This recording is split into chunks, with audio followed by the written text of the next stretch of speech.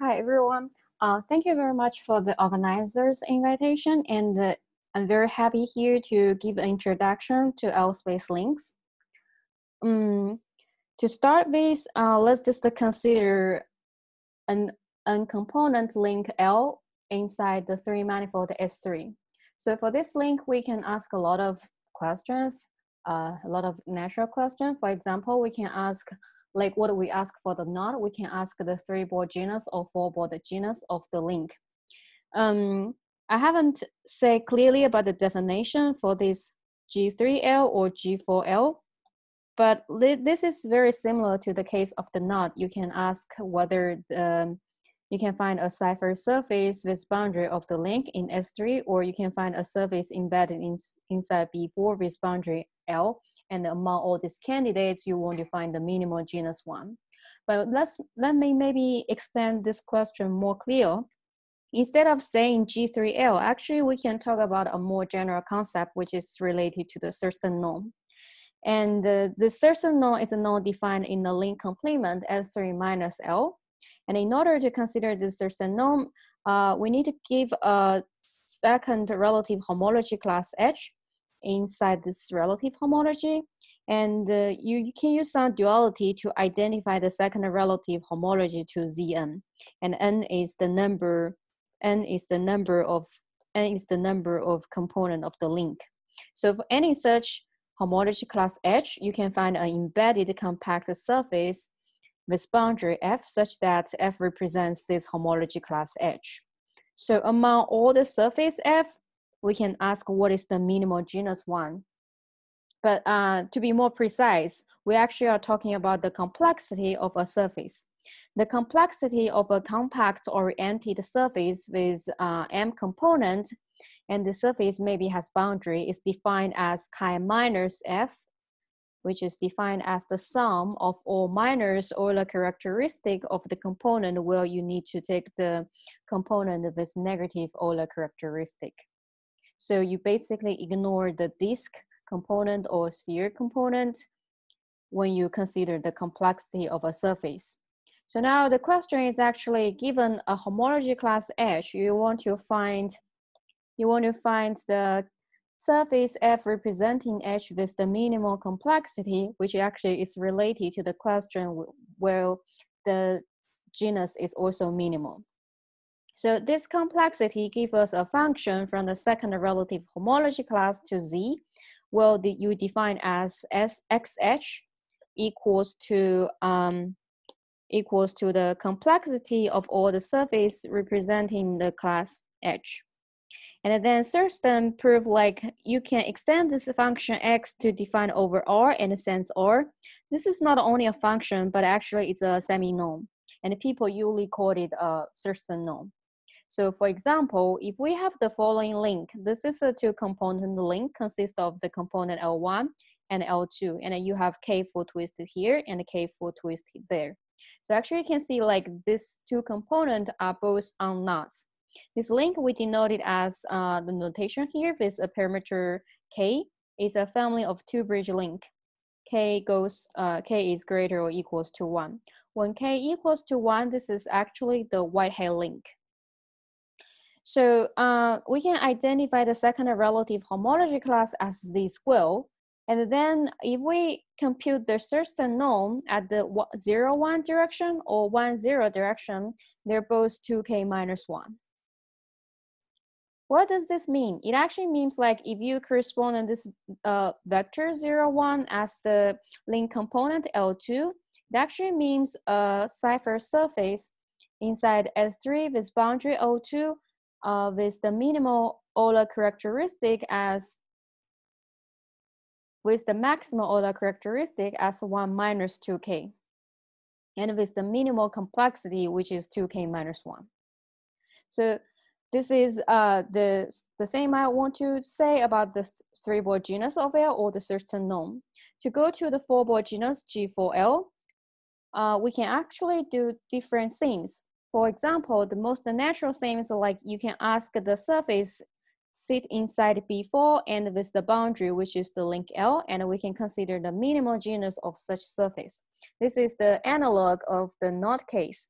But we can also do another kind of definition of the four-ball genus. For example, if you assume your link has pairwise linking number zero, which means like actually you can find pairwise disjoint surface inside B4 bounded by each component. Why is that? It's very simply to observe from this picture. You see like each component Li origin, they bound a Seifert surface sigma 1 prime or sigma 2 prime or sigma n prime, etc. in the three sphere S3, and then you push them into B4. So this Seifert, Seifert surface, now they will intersect transversely at pairwise uh, as a pairs of crossings where one crossing is positive and one crossing is negative. Because the linking number is zero, so this positive crossing and negative crossing will appear in pairs. So for each pair of this crossing, we can add a tube to get rid of this pair of crossings in sacrifice of increasing the genus. And by doing this procedure, you can you can finally find all pairwise disjoint surface sigma i with boundary Li inside B4. So you can ask the strong four-ball genus, which is defined as the sum of all Gi, where Gi is the genus of the P sigma i, where sigma 1, sigma 2 is the disjoint collection of surface sitting inside B4 with boundary L. So you have a different flavors of finding the four-ball genus. And actually, we can compare the strong four-ball genus and a weak four-ball genus. They can be very large usually because if you consider a knot K with the split union of its mirror K4, then you see actually this is um, this Bunsen annulus in B4. So G4 weak is just the zero but G4 strong can be arbitrary large, depends on the knot K. And uh, for the for the example we have shown before, this two bridge link family, you see like G4 strong of this link is just the K, depends on the parameter uh, K here. But for the weak weak four-ball genus, uh, I don't know the answer yet, but I think the answer should be K or K minus one. Actually, these two for genus, for such two family of two bridge link, they should be the same. But we may won't talk about a lot of details here in this talk because just the, the time because the time limit.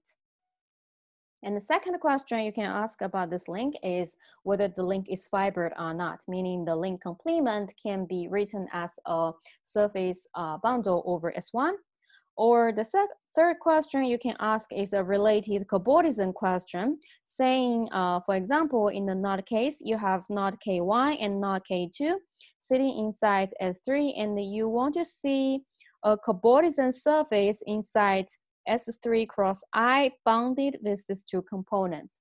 So there may be some genus on this surface, and you can ask what's the minimal genus for such for such a cobordism surface. This has been done by uh, Marco Chilori, uh, Bernard, and some other people by using different techniques. And then you can generalize these questions to links very naturally. However, for links, you may have uh, link 1, L1, and link L2. They don't necessarily to have the same number of components. Then in this case, you may appear some cobordism surface with uh, two more with two boundary components on one side and the other one boundary component on the other side. Then you can ask the similar question.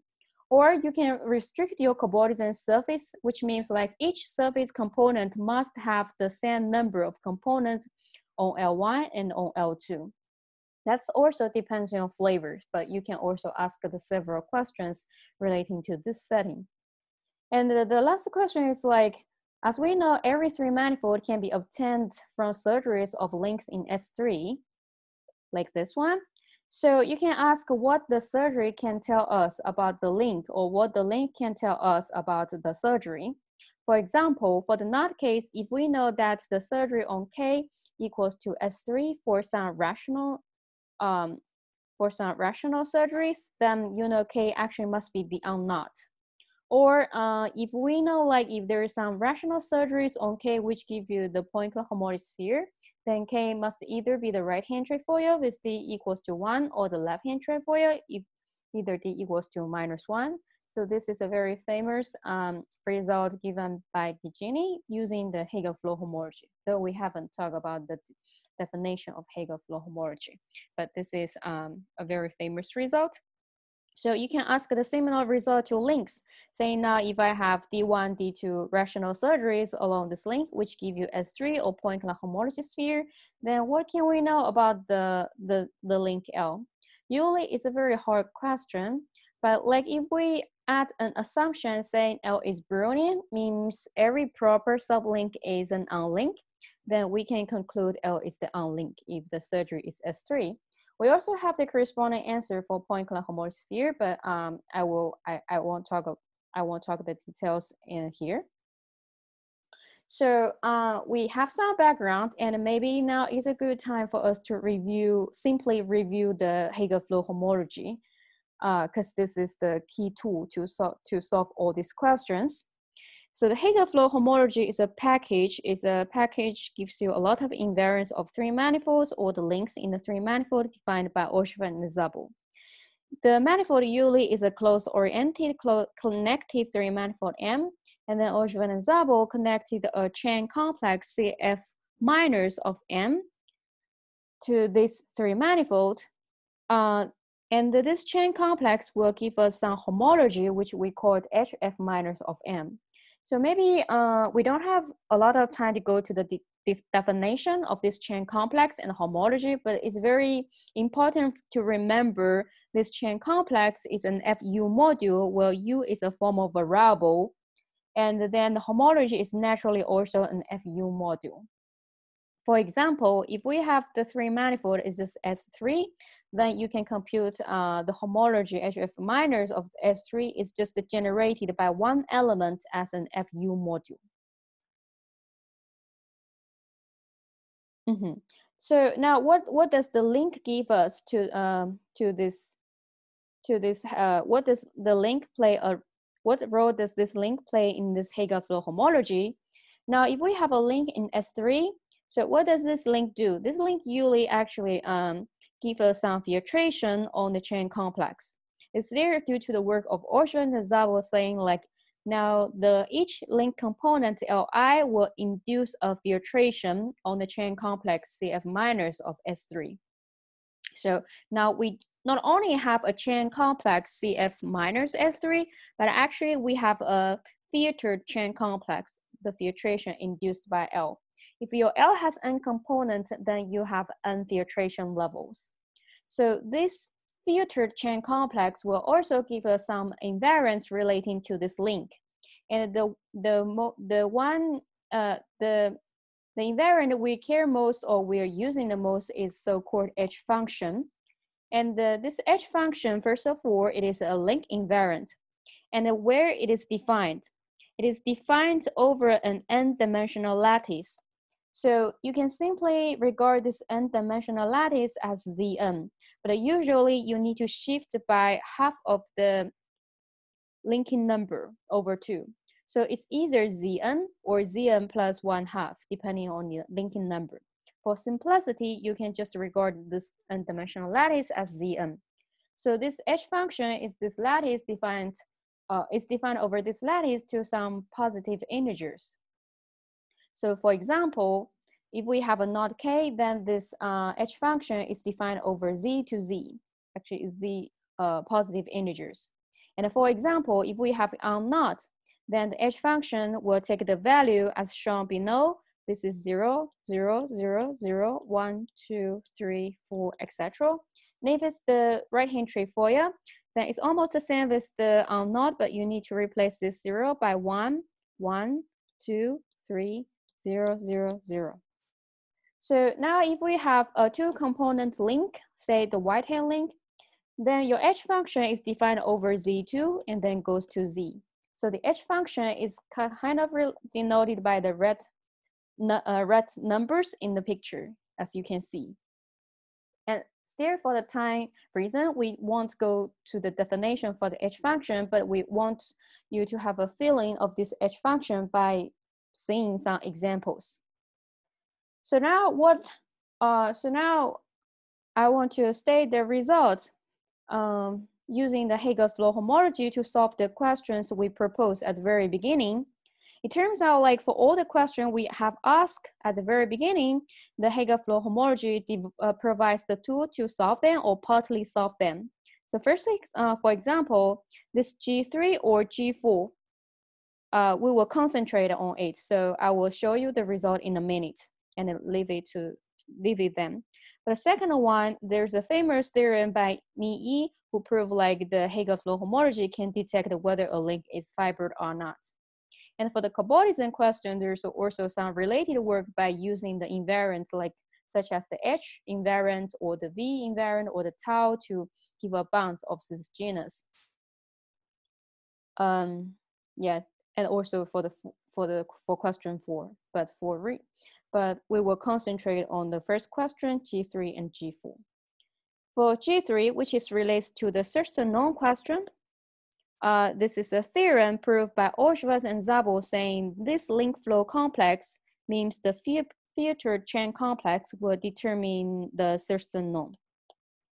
And then uh, for this, so this gives G3L. And then for G4L, uh, uh, we have a theorem saying like if you have a link with pairwise linking number, and also you suppose like Li bounds pairwise disjoint surface sigma i with genus Gi, then we have these following inequalities which give you a bounds of this genus in terms of the h function. So you can see like the left-hand side is the h function of the link. So this is the h function of this unlink. So this is really a constant. And the right-hand side uh, is a function involving the genus Gi. So this function is FGISI is defined as follows. So FGI-SI is defined as um, the ceiling of GI minus SI over 2 if SI is smaller or equals to GI. Otherwise, it equals to 0. So the right-hand side really just involves the genus of uh, the surface.